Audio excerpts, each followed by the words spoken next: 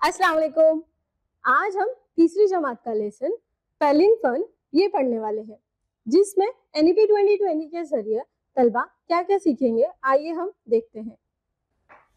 Student will learn the meaning of the English words student will learn the spellings of words in English student will sing the song after their teacher Student will be able to do some fun activities with words and their spellings.